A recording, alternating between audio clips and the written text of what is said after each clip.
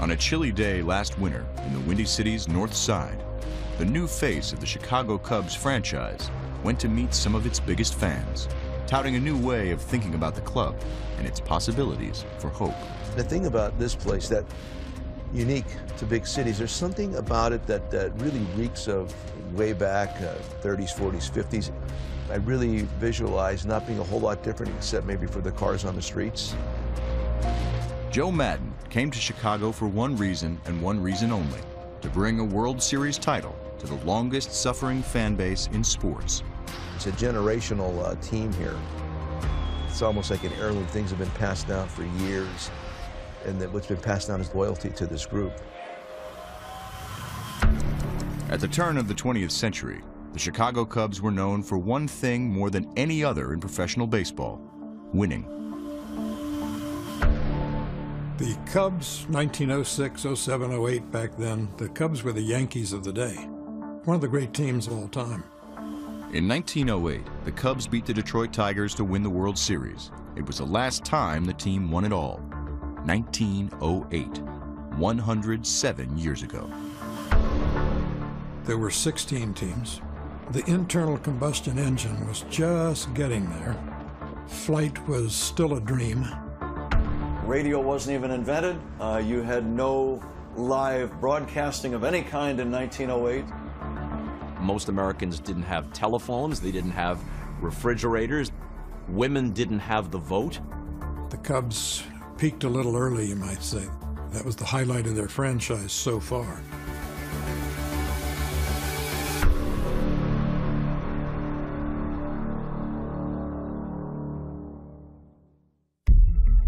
Wasn't as if the Cubs fell off the cliff right after 1908. In fact, over the next three decades, they'd reached six more World Series. Only thing was, they lost each one of them. Another pennant, another champion. But then, the next time they reached the Fall Classic, in 1945, came something else entirely a curse. The Cubs curse supposedly derives from the fact that some sensible usher refused to let a guy bring a goat into the 1945 World Series. The story is strange, but true. But just as strange is the long, agonizing, all but unbelievable history it begat. The Cubs' tortured tale includes a black cat that walked in front of a dugout in 1969. In 69, their head of the Mets going into September. Black cat walks by Ron Santo in the on-deck circle. It was the first time in a long time that the Cubs had even been close. A routine ground ball to first that became anything but that. 84. Cubs make the playoffs. The Cubs are the champion! And it looks like they're one win away from the World Series. I remember listening to the game on the radio, riding my bike down to Wrigleyville. I was too young to get into the bars, but I just wanted to be down there. I knew nothing about the history of the Cubs and the Black Cat. Um, I didn't know anything about the Billy Goat. But as I look back on it now, it's like, how did that thing get away from us? Ground ball hit the dirt right through his leg! A man named Bartman who took his infamous turn in the spotlight in 2003. Five outs away from going to the World Series. They have the lead. And then all of a sudden. That was a catchable ball. The Cubs just went to hell after that. And bobbled by Gonzalez and everybody's safe. And the fans are in shock at Wrigley. And the curse gets brought up. So what are you going to do? How, how is anyone going to overcome that? Altogether, it makes you wonder, could this club really be cursed? Sometimes you don't want to believe, but the consistency every year, like you believe something is, is not right. And what would it feel like if a Cubs team ever found a way to somehow win it all? Cubs win!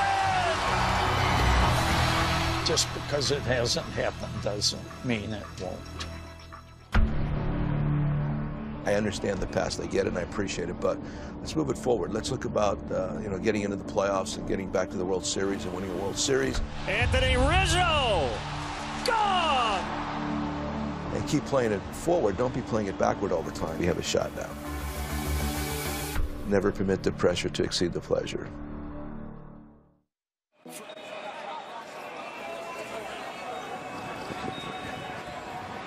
The first time you walk into Wrigley Field, and you see, you know, all the colors, the green, the white, the blue, so vivid. It's like stepping into Oz. Friendly confines of Wrigley Field. It's a great place to play. It's wide open, blue skies. They have the vines in the outfield after they start growing in mid-May. You want magic? Wrigley Field has it. The look, the Cubs, the people. It's all magic. Wrigley Field has been one of baseball's most beloved ballparks for more than 100 years. So much so that Cubs ownership has at times designated it the franchise's main attraction. The Cubs are the lovable Cubbies. Even when the Cubs have been terrible, which has been often, it's always been great to come to Wrigley Field. There's always been an uplifting baseball atmosphere there. And a lot of people think that that might have actually held the Cubs back. For many years, the Cub theory was the team's not very good, the ballpark is a gem. Let's sell the ballpark. The ivy will be so lush and the grass so green and the sunshine so warm and the Heileman's old style lager beer so cold that no one will care what the scoreboard says. As long as they had Wrigley Field, as long as they had a loyal fan base, that maybe there wasn't the incentive to ruthlessly go for it. The Cubs thought of themselves as a quaint little replica from the past. It was all fun, it was all colorful, it was all enchanting, and had nothing to do with championship baseball. I got to play in, I think, 43 different major league ballparks. Nice to see you. How you doing? Good. And I always enjoyed walking to them whenever I could. Guys, there's something different about Wrigley Field. My first major league start was here as a member of the Florida Marlins, and I remember wanting to be a Chicago Cub and play here. And then to be here and be a, a guy that was at this stadium, it's my office for nine years. I love watching you pitch, man. Thanks. So good. Well, I enjoyed all the fans. And yeah. All the support I got here is pretty incredible, man. It's a great place to play. It's like nothing else I've, I've really experienced. Just to be here and be a Chicago Cubs, it's, it's like being a rock star. Yeah, good to see you. The friendly confines have long been at the center of a distinct connection between the Cubs and their fans. But before last season, the Cubs' new ownership began a renovation of the park, sending a signal that the days of the club being stuck in its own past were over. There we go. Gotta get up. Gotta get up. That's right, all night. That's how it's gonna be all night. And as Wrigley entered the second year of its renovation this past offseason, the team's roster was being rebuilt faster than many expected. It's official. Jon Lester introduced today as the new face of the franchise for the Chicago Cubs. I like to win, and I'm going in with the intention of winning in 2015. And that means the division, that means the World Series, that means everything. In 2015, the one camp I came away most impressed with was the Cubs camp. And not just because of all the new faces, but the talk and the rage was Kris Bryant. Get out the tape measure, long gone. Bryant, ball is gone. Kris Bryant may have cleared the scoreboard. The Cubs' third base rookie sensation, combined with their new big arm, Swing and miss strike three. Number 10 for Jon Lester. helped get the club off to a promising start this spring. Cubs win.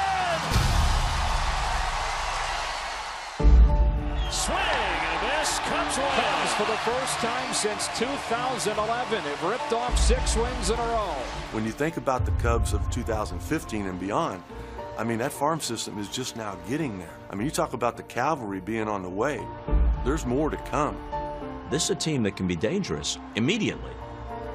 And it looks like they'll be a contender for a while. They're playing with a lot of confidence right now. And let's keep in mind that in Back to the Future, there's a billboard that says Cubs win World Series. And the year is 2015. Wait a minute. Cubs win World Series. Against Miami? Yeah, it's something, huh? Now, that might be a little bit ahead of schedule as we look at it, but they've got a chance. The Cubs' last chance in a World Series came 70 years ago in 1945 against the Detroit Tigers. What happened in that fall classic still haunts the North Side to this day, because it was then that the curse of the Billy Goat was born. What I know is that Billy Sianis, who owned the Billy Goat Tavern downtown, wanted to bring the goat into Wrigley Field, but he was denied an admission. My uncle says he has two tickets, he wants to get in the ballpark. And Mr. Wrigley says the goat smells. My uncle got mad says, I'm gonna put a curse on, then I'm gonna win anymore. Then the Cubs lost, and my uncle sent telegraph to Mr. Wrigley. He says, who smells now? 1945 was the franchise's 10th World Series appearance. But since that fateful incident at Wrigley, they haven't been back. And 70 years later, fans can only shake their head at the reality. The Cubs don't even have a decent curse. I mean, for Pete's sake, the curse of the Bambino, the Red Sox have got fine. At least it's related to baseball. They're cursed because P.K. Wrigley, the then owner of the Cubs, refused to let a guy bring a barnyard animal, a goat, into the 1945 World Series. It's a Greek guy. It's a goat. I don't believe in goats.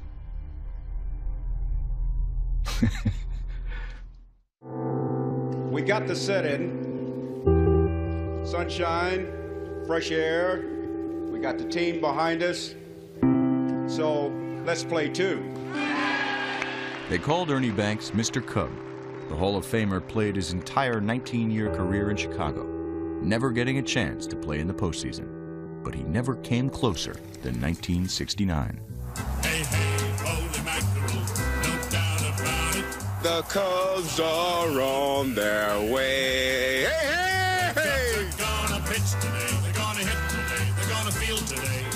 Cubs are going to go all the way.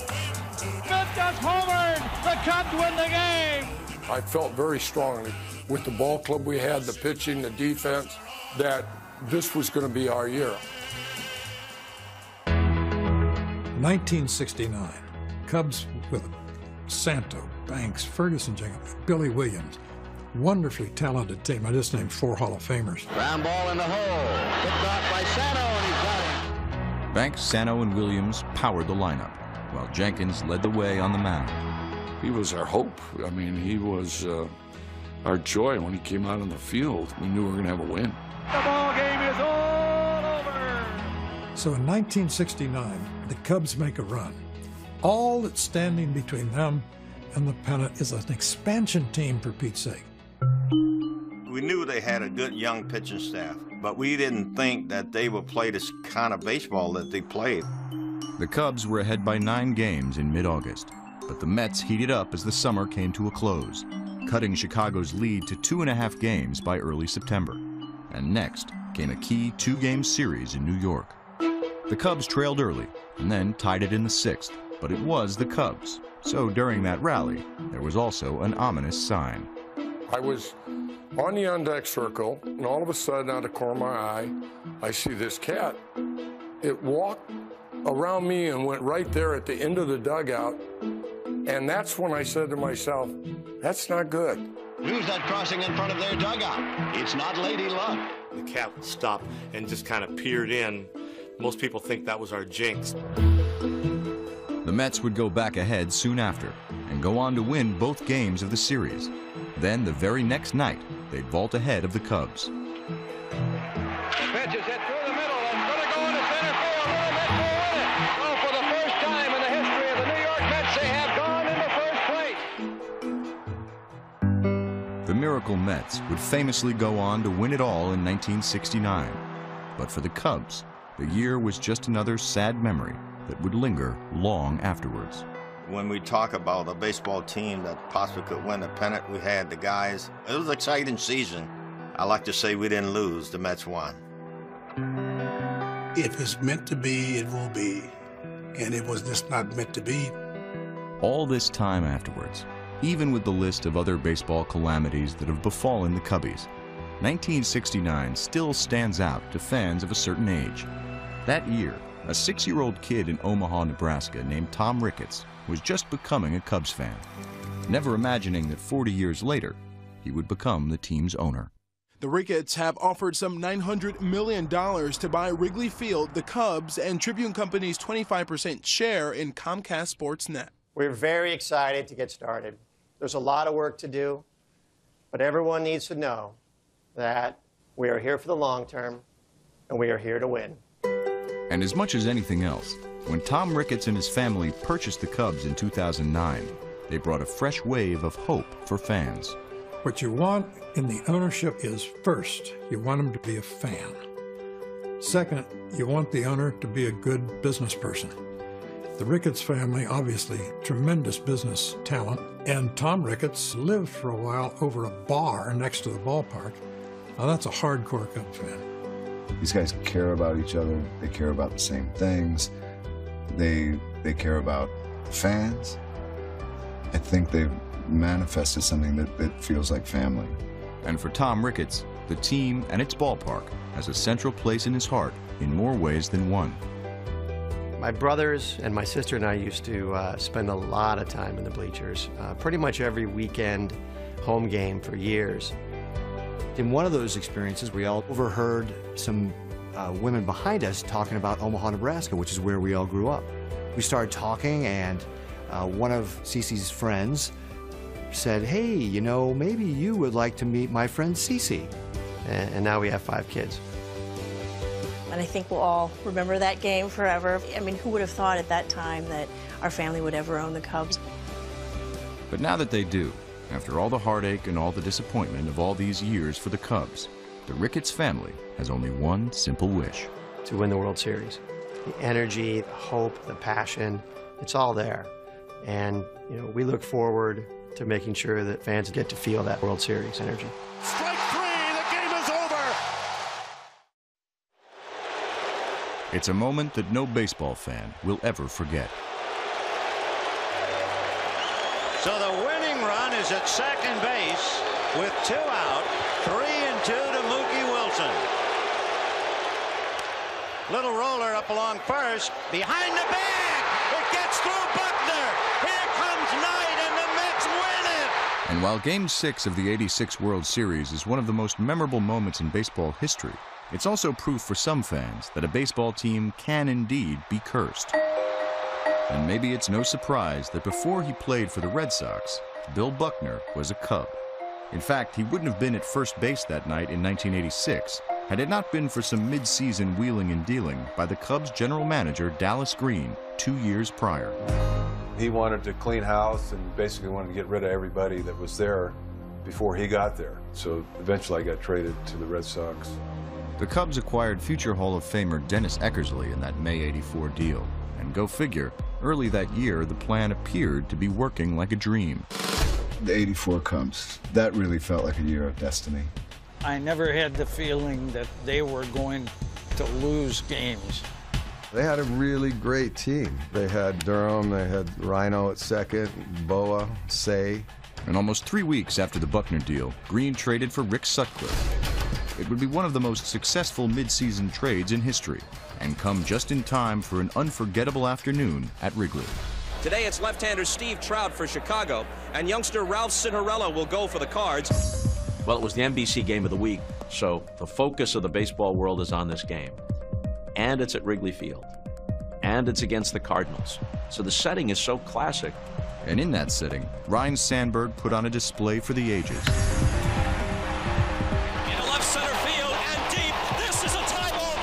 Sandberg's ninth inning homer, his fourth hit of the game, kept the Cubs alive. And then two innings later, he had a shot at more heroics.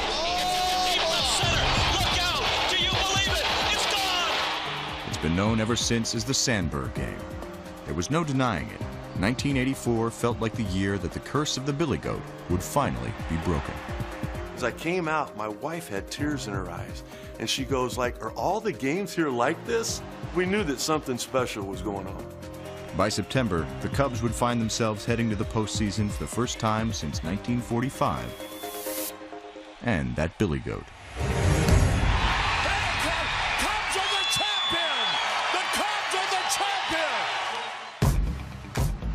They go into the LCS, and there was no division series, no wild card then, so you just won the division, you played in the LCS, and tried to get to the World Series. It was best of five, and the Cubs win the first two games at home against the Padres easily. The Cubs try for a sweep at the series. It'll move to Jack Murphy Stadium in San Diego, California. They seem like they had it all wrapped up. And they were already kind of celebrating on the airplane, drinking champagne. To have a two-game lead, to go to San Diego, we figured we'd won at least one of those three games there. But the Cubs lost Game 3 and 4, forcing a deciding Game 5 in San Diego, a game that actually began well for Chicago. They're up 3 nothing, But because it's the Cubs, things not only have to unravel, they have to unravel in strange fashion. Trailing the Cubs 3 0, the Padres scored twice in the sixth to draw within a run. And then, just before the bottom of the seventh, the story goes that something unusual happened in the visitors' dugout. Before they ran out to go play defense, somebody knocked a big jug of Gatorade over, and it happened to go all over Leon Durham's glove. So he walked out there to play defense with a heavy first baseman's glove. Two batters later, Flannery came up as a pinch hitter with a tying run on second. I remember looking down and I saw Jody Davis's shadow move inside on me. So I was looking for a fastball inside. Ground ball hits the dirt right through his legs. Here comes Martinez. We're tied at three. Should have been an easy play. Durham's down doing everything he can to keep it from going through, but it got through anyway. You could just feel it. I mean, the next thing you know, there's a bloop down the left field line. A ground ball hit something and bounced over Sandberg's head, and we weren't able to do it.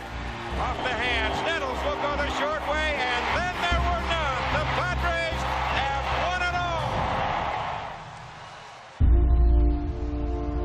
all. It was truly heartbreaking. This close, gone.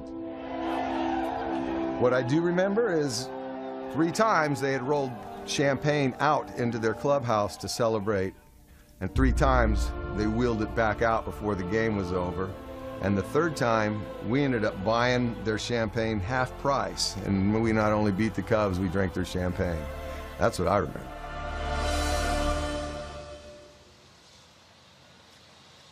During the winter of 1984, a buddy got me a T-shirt that said "Chicago Cubs World Champs 1908," and to this day, I mean, at least once a week, I sleep in that T-shirt. I thought after '84, you know, we knocked on the door this year, we're going to knock the door down, and next year, of course, that didn't happen then, and it still to this day hasn't happened. The wait, of course, continues. Though even with a dose of infamy, that 1984 team is still beloved in Chicago. Well, they might not have won, but they were still heroes to us. Rick Sutcliffe won the Cy Young Award that year. Ryne Sandberg was the most valuable player, and we won 96 games, but uh, one little play gets away. Ground ball to first that gets by Leon Durham, much like Bill Buckner. Here we go again. The plays are eerily similar, eerily unforgettable for two teams trailed for so long by curses. And then there's the other connection that Durham wouldn't have been playing first base that day had Buckner not been traded away earlier in the season. Eventually, Buckner was forgiven in Boston, particularly after the Sox' own curse ended in 2004. The Boston Red Sox are world champions. A championship for which Boston fans can thank this man perhaps more than any other.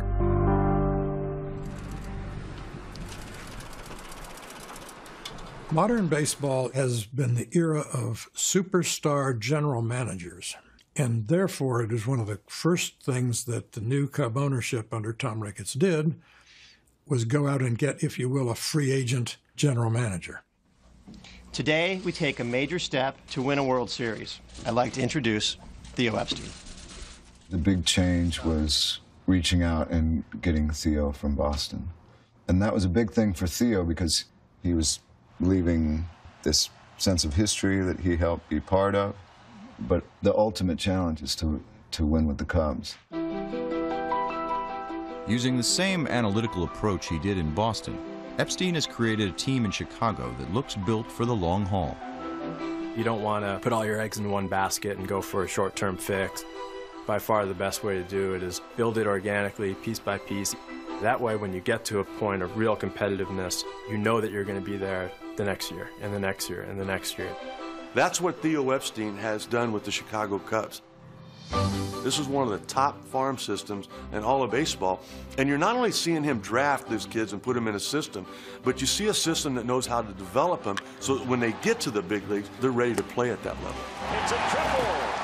They've got four or five guys, 22, 23 years old, who are among the best young players in baseball. The fact that it's come so far in not as long as he thought, it's beyond impressive and incredibly exciting.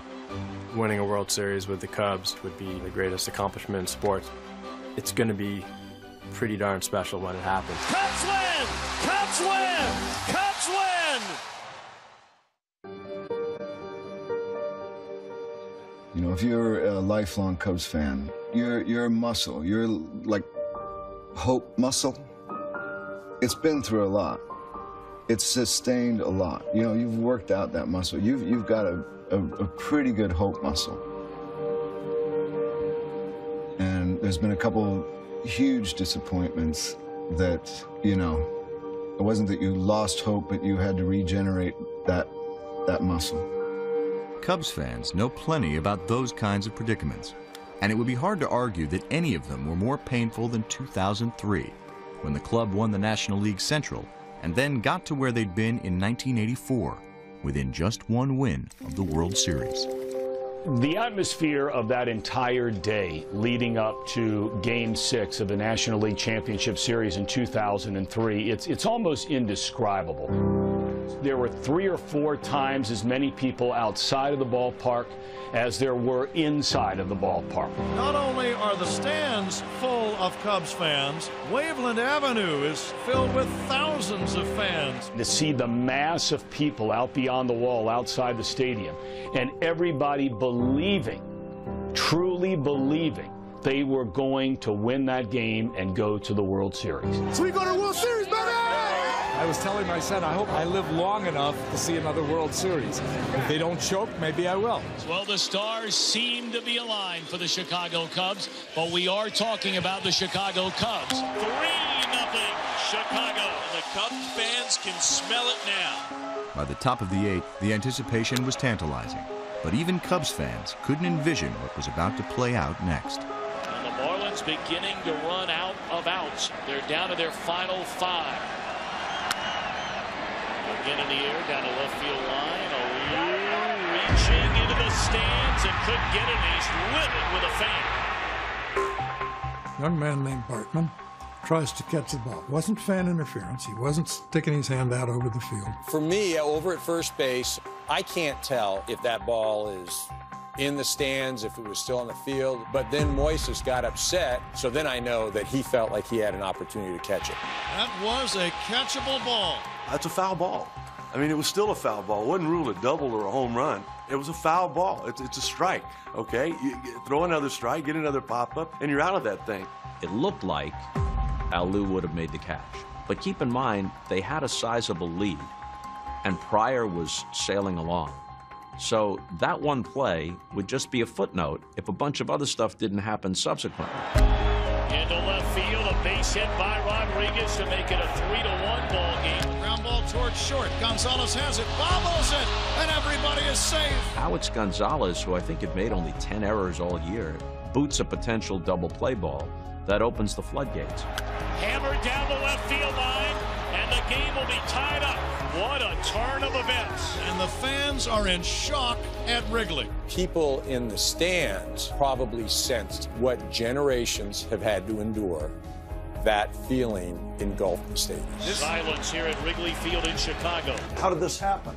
I mean, it was it was shocking how fast it all happened. We just like lost focus.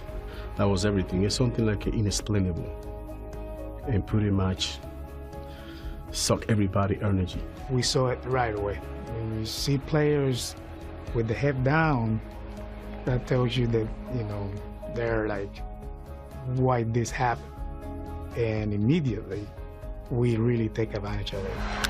That ball hammered into left center field. Three runs are going to score on a double by Mordecai. It's an 8 to 3 game. A nightmare of an eighth inning. You can start to see fans get really upset with this man who is being blamed for Moises Alou not being able to catch what would have been an out in that eighth inning. I'm telling you what, they better have some security for him. I mean, seriously. You could see that something very bad was starting to brew out there in the stands. I think it's safe to say the fan did something, Steve, that any normal person would react in such a way. And it's certainly we're walking a fine line now. You know, a fan's getting out of control and doing something that they shouldn't do. And now all of a sudden, you can see some fans starting to move around and push and shove and finger pointing. All of a sudden, somebody throws something. Yeah, there they go. There they go. Throwing beer on them. Look at this. What happened to Bartman was just so wrong and so cruel. Step back, step back. A whole bunch of stuff had to happen in that inning as it unraveled. So to say that Bartman's play alone changed the inning, changed the game, changed the series, it's just wrong. And it's safe to say that every Cub fan has to be wondering right now, is the curse of the Billy Goat alive and well? I'm walking out of Wrigley Field. A fan says to me, Mr. Will, Cubs will get him tomorrow. I said, not a chance.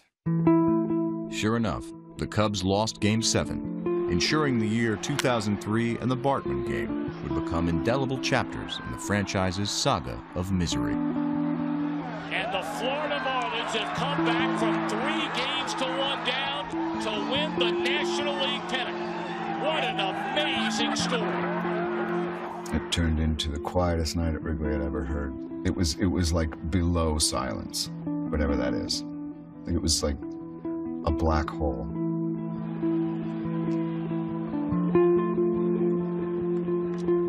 It took me a week. I had a boss at the time who was, was a great big Cubs fan. I called him. I said, I'm not going to come in for the next couple days. He didn't need to know why. He knew exactly what I was talking about. He said, no problem. After we lost and we, it took me a month to get back to normal. it took me a month. I really, really, that's her. I, I thought that was a year that we have a chance to make all the way. We had the potential, we had the manager, we had the right player in position, but you know, we was close. Five outs from the World Series. Five outs. I mean, the Cubs went into that series with Kerry Wood and Mark Prior. They were going to be the future of a dynasty. The anchor of a perennial all-star rotation didn't work out. And to have it not work out on a foul ball, for Pete's sake. I mean, that just sums up the Cub experience. I'm still thinking about that until today. I'm still thinking about it. It's hard, you know, but you know, I can live with that for the rest of my life. That kind of pain can embed itself deep into the consciousness of a team and a fan base, which means you need leaders of uncommon skill to come in and turn the aura around. Leaders like Joe Maddon. We are here uh, on a very important day uh, for the Chicago Cubs. It's my pleasure to introduce the manager of the Chicago Cubs, Joe Maddon. Hiring Joe Maddon was a masterstroke. He's not just a good manager in game, he's a presence. He gives a team an identity, he gives uh, a clubhouse a certain feeling. There have been a lot of great managers who have sat in that seat and haven't gotten it done. Been Right. 106 years. Beautiful. Do you have any idea what the hell you've gotten yourself into?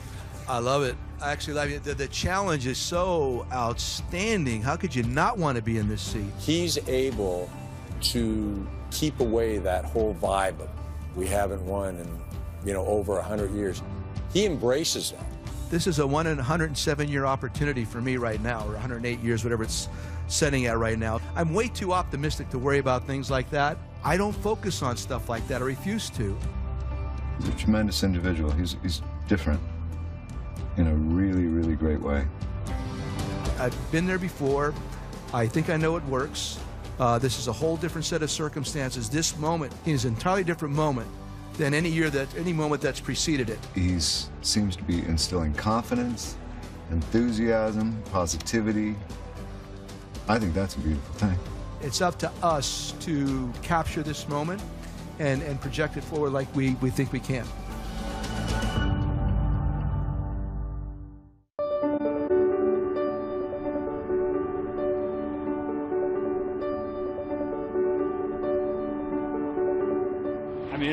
Happen this year. We're going to win the NL Central, and I'm going to, I'll, just going to quote me on that. That's what we're expecting. and That's what we're going to put our sights on, and we're not going to accept anything else. While Anthony Rizzo's bold prediction may have fallen a bit short this season, his club has been as exciting as any Cubs team in years. Cubs win! Cubs win! Earning a wild card spot in the postseason, following a spring and summer filled with highlights. And Jake Arrieta has thrown his first career no-hitter. No one expected this. You know, this year was supposed to be another rebuilding year. It's almost like we're getting to open our presents early. Incredibly exciting. Schwarber sends it toward the bleachers and it's gone. Watching these kids come in was kind of great. It's a lot of fun to watch Schwarber and Bryant, Rizzo, who's been here a while. Anthony Rizzo. What a play down there to save at least one run. One of the things that I like is the winning close game. So when you win close game, you have a chance to go all the way.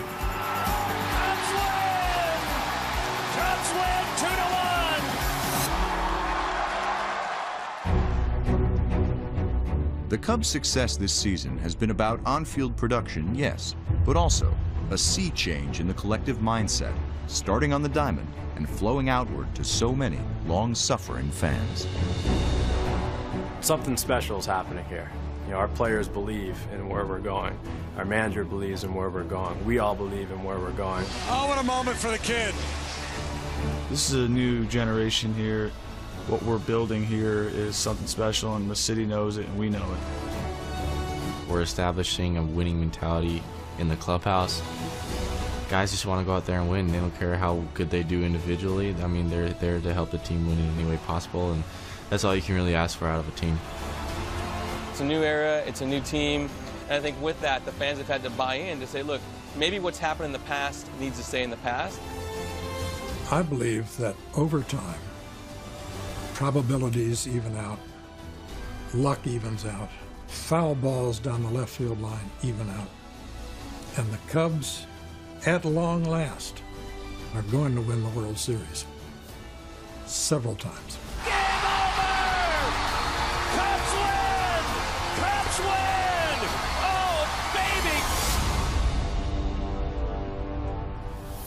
baby! Their collection of young stars weren't even alive in 1969, or for that matter, 1984.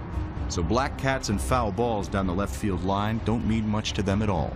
This group is about something different, the next chapter in Cubs history, and the chance to lead generations of fans to a promised land they've long worried they might never see. It would mean the world to a lot of people. A lot of generations of Cubs fans wait a long time for their team to win the World Series, and when it does happen, it's going to be a very special moment for us players, for our families, for the organization, and for the city of Chicago. Celebration time on the diamond at Wrigley. First thing I think of is the Cub fan. To finally say that you're the World Series champion.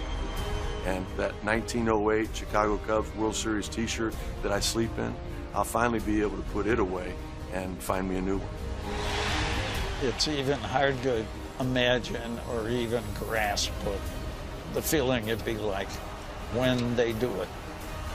Winning a World Series for these fans who've waited so long and who deserve it so much will be something that all of us will be proud of for the rest of our lives.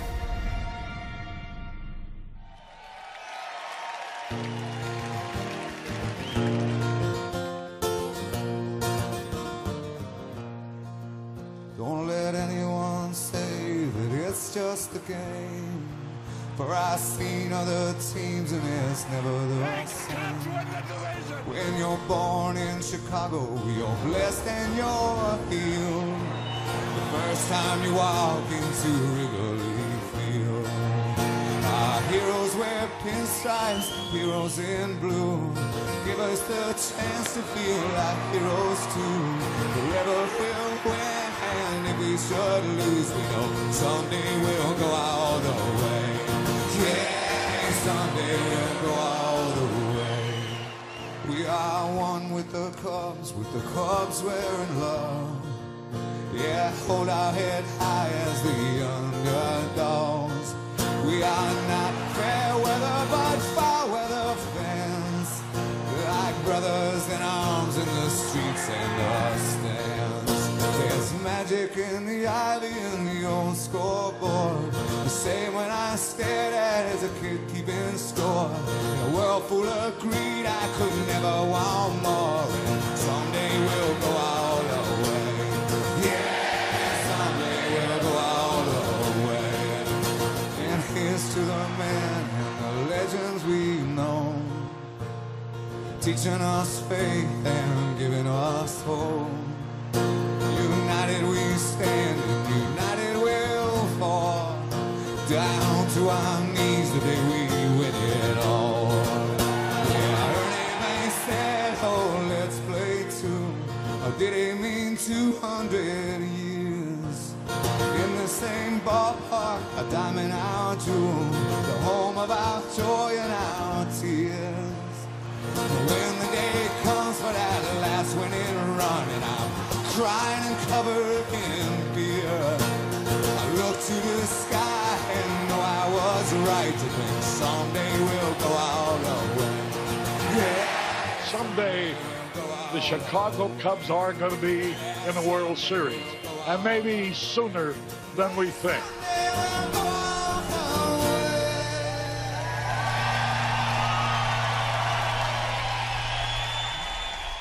So, what's it going to mean for you personally after so many years when they do eventually go all the way?